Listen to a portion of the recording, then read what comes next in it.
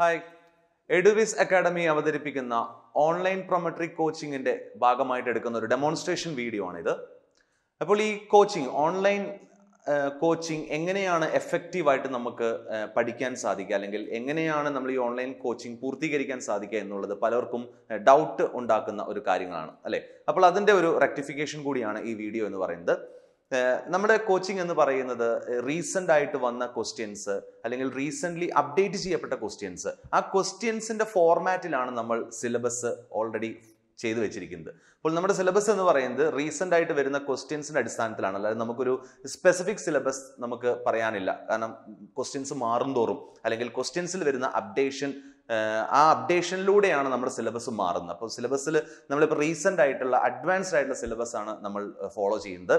അപ്പോൾ ഇതിൽ ശ്രദ്ധിക്കേണ്ട രണ്ട് മൂന്ന് കാര്യങ്ങളുണ്ട്. നമ്മൾ എപ്പോഴും എക്സാമിന് നമ്മൾ ക്വസ്റ്റ്യൻ ആൻസർ ചെയ്യുന്ന സമയത്ത് പലപ്പോഴും ക്വസ്റ്റ്യൻ ചോദിക്കുന്നത് കുറച്ച് കൺഫ്യൂസിങ് ആയിട്ടുള്ള രീതിയിലായിരിക്കും. അതായത് അവരുടെ കണ്ടന്റ് ഓഫ് ദ ക്വസ്റ്റ്യൻ നമുക്ക് ചിലപ്പോൾ മനസ്സിലാകണമെന്നില്ല. അവരെന്താണ് ഉദ്ദേശിച്ചിരിക്കുന്നത് നമ്മൾ ചിലപ്പോൾ മനസ്സിലാക്കാൻ പറ്റണമെന്നില്ല. മാത്രമല്ല ഈ ഓപ്ഷൻസ് തന്നിരിക്കുന്ന നാല് ഓപ്ഷൻ എല്ലാം ശരിയായിട്ട് നമുക്ക് തോന്നാം. പക്ഷെ നമുക്ക് അങ്ങനെ തോന്നിയിട്ട് കാര്യമില്ല. നമുക്ക് ഏതെങ്കിലും ഒരു ശരിയായിട്ടുള്ള ഓപ്ഷൻ സെലക്ട് ചെയ്യാൻ പറ്റുകയുള്ളൂ. അപ്പോൾ അതൊക്കെ എങ്ങനെയാണ് ചെയ്യേണ്ടത്? അല്ലെങ്കിൽ എങ്ങനെയാണ് നമ്മൾ ആ ഒരു ക്വസ്റ്റിനെ ഫേസ് ചെയ്യേണ്ടത്? അല്ലെങ്കിൽ ക്വസ്റ്റിനെ നമ്മൾ എങ്ങനെ അപ്രോച്ച് ചെയ്യണം എന്നുള്ളതിന്റെയൊക്കെ ഒരു ഒരു ചെറിയ ക്ലാരിഫിക്കേഷൻ കൂടിയാണ് ഈ വീഡിയോ എന്ന് പറയുന്നത്. ടൈം മാനേജ്മെന്റ് വളരെ ഇമ്പോർട്ടന്റ് ആയിട്ടുള്ള ഒരു എക്സാം ആണ് പ്രൊമട്രിക് എക്സാം കാരണം ഫോർ എക്സാമ്പിൾ ഒരു നൂറ് ക്വസ്റ്റ്യൻ ഉള്ള എക്സാം നൂറ് ക്വസ്റ്റ്യൻസ് ഉള്ള എക്സാം രണ്ടര മണിക്കൂറാണ് അവർ തരുന്ന സമയം എന്ന് പറയുന്നത്. അപ്പോൾ ഏകദേശം ഒരു ക്വസ്റ്റിന് ഒന്നര മിനിറ്റോളമാണ് നമുക്ക് കിട്ടുന്നത്. ആ ഒന്നര മിനിറ്റ് ആ ക്വസ്റ്റ്യൻ വായിച്ച ആ ക്വസ്റ്റിന്റെ ശരിയായിട്ടുള്ള ഉത്തരം ഏതാണെന്ന് നമ്മൾ എന്ത് ചെയ്തിരിക്കണം? കണ്ടുപിടിച്ചിരിക്കണം.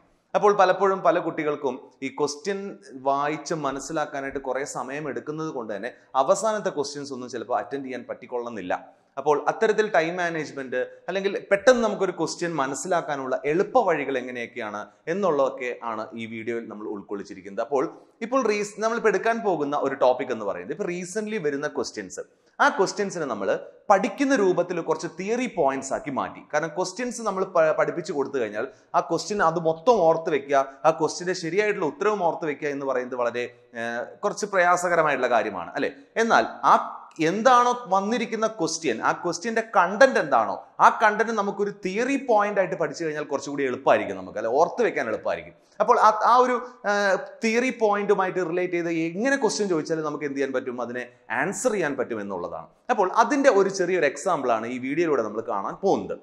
ഇപ്പൊ റീസെന്റ് വരുന്ന ഒരു ക്വസ്റ്റ്യൻ ആണ്. നമ്മളെ ഒരു സൈക്കാട്രിക് പേഷ്യന്റ് ഈ സൈക്കാട്രിക് പേഷ്യന്റിന് അല്ലെങ്കിൽ സൈക്കാട്രിക് പേഷ്യൻസിനെ ഒരു നഴ്സ് ഡീൽ ചെയ്യുന്ന സമയത്ത് എത്തിക്കലി ഫോളോ ചെയ്യേണ്ട ഒരു കാര്യമുണ്ട്. അതായത് സാധാരണ ഒരു പേഷ്യന്റ് സാധാരണ ഒരു പേഷ്യന്റ് നമുക്ക് എന്ത് ചെയ്യാം? നമുക്ക് ഒരു ഫ്രീ ഐ പി ആർ അല്ലെങ്കിൽ നല്ല രീതിയിൽ ഒരു ഫ്രീ തെറാപ്യൂട്ടിക് കമ്മ്യൂണിക്കേഷൻ നമുക്ക് മെയിന്റെയിൻ ചെയ്യാവുന്നതാണ്. കാരണം വലിയ കുഴപ്പക്കാരല്ലാത്ത ആളുകളാണല്ലോ മറ്റ് പേഷ്യൻസ് എന്ന് പറയുന്നത്. എന്നാൽ സൈക്കാട്രിക് പേഷ്യന്റ് എന്ന് പറയുമ്പോൾ എന്താണ്? നമുക്ക് നമ്മൾ എത്രത്തോളം തെറാപ്യൂട്ടിക് കമ്മ്യൂണിക്കേഷൻ മെയിന്റെയിൻ ചെയ്യാൻ ശ്രമിച്ചാലും അത് എഫക്റ്റീവായിട്ട് എപ്പോഴും സംഭവിച്ചു കൊള്ളണമെന്നില്ല. കാരണം നമ്മൾ ഡീൽ ചെയ്യുന്ന ഒരു സൈക്കാട്രിക് പേഷ്യന്റിനെയാണ് മൂഡ് മെന്റൽ ഡിസോർഡർ ഉള്ള ഒരു പേഷ്യന്റാണ് മൈൻഡ് അബ്നോർമാലിറ്റി ഉള്ള ഒരു പേഷ്യന്റാണ് അപ്പോൾ അവിടെ കമ്മ്യൂണിക്കേഷൻ എന്ന് പറയുന്നത് എപ്പോഴും എഫക്റ്റീവായിട്ട് നടന്നുകൊള്ളണം എന്ന് നിർബന്ധമില്ല. അപ്പോൾ ഇവിടെ നമ്മൾ സാധാരണ ഒരു സൈക്കാട്രിക് പേഷ്യന്റിനെ ഡീൽ ചെയ്യുന്ന സമയത്ത് നമ്മൾ എപ്പോഴും ഹോസ്പിറ്റൽ പോളിസി ഫോളോ ചെയ്യുക എന്നുള്ളത് വളരെ ഇമ്പോർട്ടന്റ് ആയിട്ടുള്ള ഒരു കാര്യമാണ്. സൈക്കാട്രിക് പേഷ്യന്റിനെ ഡീൽ ചെയ്യുമ്പോൾ ഒരിക്കലും ഒരു നേഴ്സ് സെൽഫ് ഡിസിഷൻ എടുക്കാൻ പാടുള്ളതല്ല.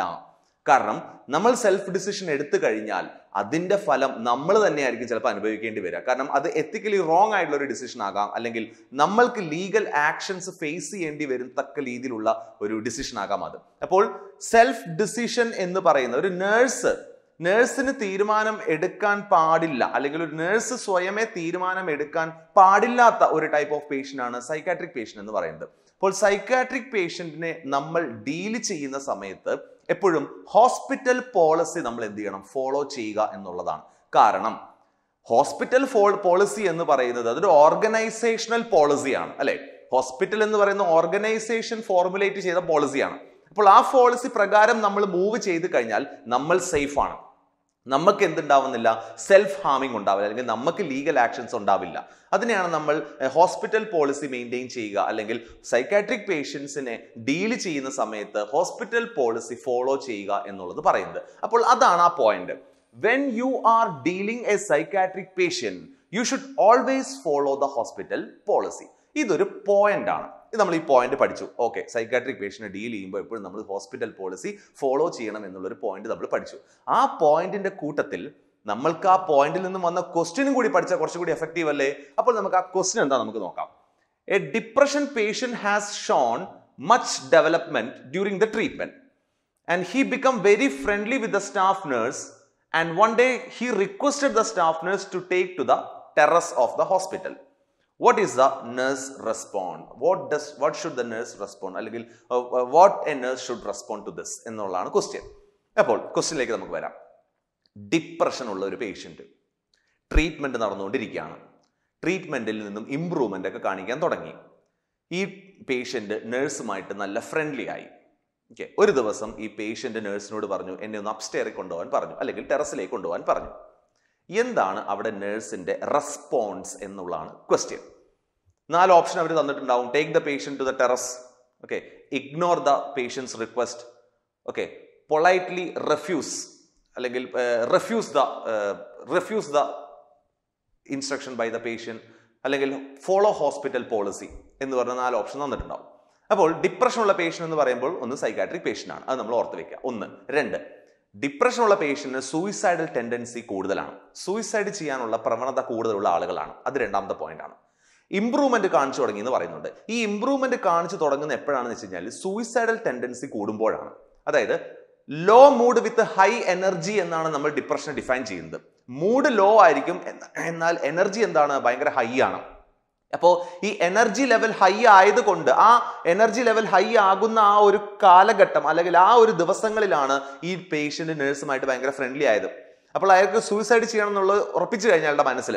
അതുകൊണ്ടാണ് ഈ അയാൾ ഭയങ്കര പോസിറ്റീവായിട്ട് തിങ്ക് ചെയ്യുന്നതും അല്ലെങ്കിൽ ഭയങ്കര ഇമ്പ്രൂവ്മെന്റ് ഒക്കെ കാണിക്കുന്നത്. അപ്പോൾ ഇത്തരത്തിലുള്ള പേഷ്യന്റിനെ ടെറസിലോട്ട് കൊണ്ടുപോകണം എന്ന് പറഞ്ഞാൽ ഒരു നേഴ്സ് ടെറസിലേക്ക് കൊണ്ടുപോയാൽ എന്താ സംഭവിക്കാം? അല്ലെങ്കിൽ എന്ത് സംഭവിക്കാൻ ചാൻസ് ഉണ്ട്?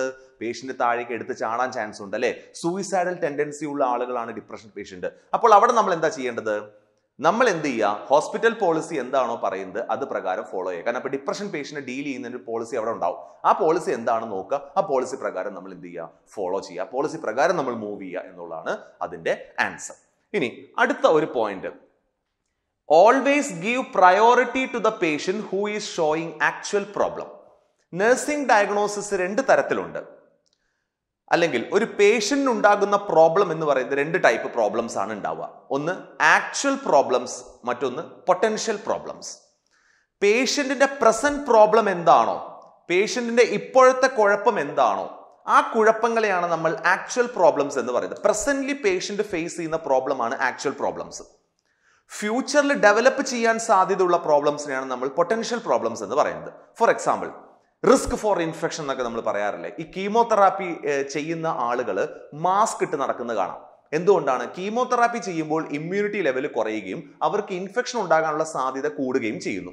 അപ്പോൾ ആ ഇൻഫെക്ഷൻ വരാതിരിക്കാനൊക്കെയാണ് അവർ മാസ്ക് ഇടുന്നത്. അപ്പോൾ നമുക്ക് അവർക്ക് അവരെ നമുക്ക് എന്ത് പറയാം? റിസ്ക് ഫോർ ഇൻഫെക്ഷൻ ആണെന്ന് പറയാം. അത് പൊട്ടൻഷ്യൽ പ്രോബ്ലമാണ്. ഭാവിയിൽ ഉണ്ടാകാൻ സാധ്യതയുള്ള പ്രോബ്ലമാണ്. പ്രസന്റ് പ്രോബ്ലം എന്ന് പറയുമ്പോൾ എന്താണ്? ഇപ്പോൾ പേഷ്യന്റ് അനുഭവിക്കുന്ന പ്രോബ്ലമാണ്. ഫോർ എക്സാമ്പിൾ പെയിന് അതുപോലെ ഇൻഎഫക്റ്റീവ് എയർവേ ക്ലിയറൻസ് ഇതൊക്കെ പ്രസന്റ് പ്രോബ്ലം ആയിട്ടാണ് നമ്മൾ കൺസിഡർ ചെയ്യുന്നത്. അപ്പോൾ ഇവിടെ നമ്മൾ തന്നിരിക്കുന്ന പോയിന്റ് എന്ന് പറയുന്നതാണ് always give priority to the patient who is showing actual problem അപ്പോൾ ഒരു ഗ്രൂപ്പ് ഓഫ് പേഷ്യന്റ് ഉണ്ട്. ആ ഗ്രൂപ്പ് ഓഫ് പേഷ്യന്റിൽ ഏത് പേഷ്യന്റിനാണോ ആക്ച്വൽ പ്രോബ്ലം ഇപ്പോൾ ഉള്ളത് അവരെ വേണം നമ്മൾ ആദ്യം അറ്റൻഡ് ചെയ്യാനായിട്ട്. അതാണ് ആ പോയിന്റിന്റെ ഒരു മീനിങ് എന്ന് പറയുന്നത്. ഇനി ഈ പോയിന്റിൽ നിന്നും വന്ന ക്വസ്റ്റ്യൻ എന്താണെന്ന് നമുക്കൊന്ന് ചെക്ക് ചെയ്യാം. Which among the following patient should the nurse first attend അപ്പൊ ഈ താഴെ പറഞ്ഞ പേഷ്യന്റുകളിൽ അല്ലെങ്കിൽ താഴെ പറഞ്ഞ പേഷ്യൻസിൽ ഏത് പേഷ്യന്റിനെയാണ് ആദ്യം നേഴ്സ് അറ്റൻഡ് ചെയ്യേണ്ടത് എന്നുള്ളതാണ് question option A a child with bronchiolitis who is in oxygen administration option B a patient with pneumonia who is waiting for discharge advice option C a patient with pleural effusion with chest tube and reported pain nine on ten pain scale option D a patient with M I who is admitted two weeks back ഈ നാല് option കാണുമ്പോൾ നമുക്ക് മനസ്സിലാക്കാൻ സാധിക്കും. Presently problem അനുഭവിക്കുന്ന patient എന്ന് പറയുന്ന ആരാണ്?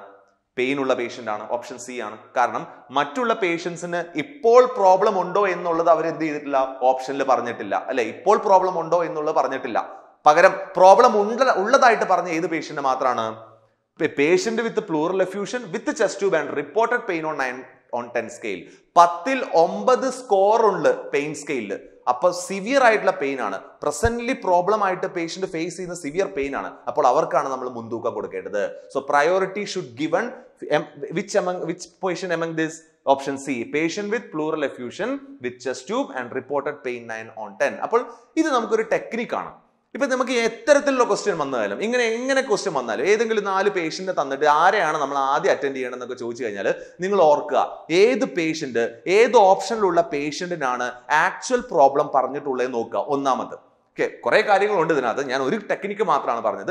ആക്ച്വൽ പ്രോബ്ലം ഉള്ള പേഷ്യന്റ് ആരാണെന്ന് നോക്കുക. നാല് ഓപ്ഷനിൽ അവരെയാണ് നമ്മൾ ആദ്യം അറ്റൻഡ് ചെയ്യേണ്ടത്. വേറെ ഒന്നുമില്ല. കാരണം പ്രസന്റ് പ്രോബ്ലം സോൾവ് ചെയ്യുക എന്നുള്ളതാണ് എപ്പോഴും നമ്മൾ പ്രയോറിറ്റി ആയിട്ട് കൺസിഡർ ചെയ്യേണ്ടത്. അപ്പോൾ നമ്മളിപ്പോൾ രണ്ട് പോയിന്റ്സ് പറഞ്ഞു. അപ്പോൾ ഈ രണ്ട് പോയിന്റിൽ നിന്ന് നമുക്ക് മനസ്സിലാകാം. അത്തരത്തിലൊരു ക്വസ്റ്റ്യൻ വന്നു കഴിഞ്ഞാൽ നമുക്ക് എങ്ങനെ ഡീൽ ചെയ്യാം എന്നുള്ളതിന്റെ ഒരു ചെറിയൊരു ഐഡിയ ഇപ്പോൾ നിങ്ങൾക്ക് കിട്ടിയിട്ടുണ്ടാവും. ഇത്തരത്തിലാണ് നമ്മുടെ ഓൺലൈൻ ക്ലാസ്സുകളും നമ്മൾ ചിട്ടപ്പെടുത്തിയിരിക്കുന്നത്. അതായത് ഇത് ഒരു റെക്കോർഡഡ് ആയിട്ടുള്ള ക്ലാസ് ആണ്.